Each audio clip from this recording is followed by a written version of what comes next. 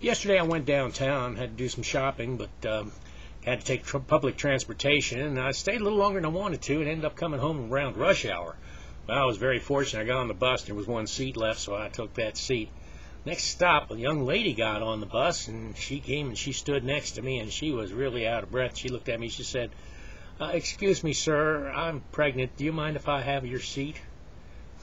I couldn't turn her down. I mean, I'd be kind of a idiot and kind of a jerk if I didn't let her have a seat. So I said, sure, sure, have a seat. I got up and stood up, and she sat down.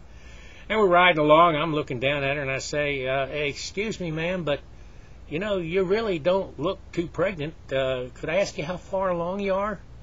She says, yeah, about 25 minutes, boy, am I pooped.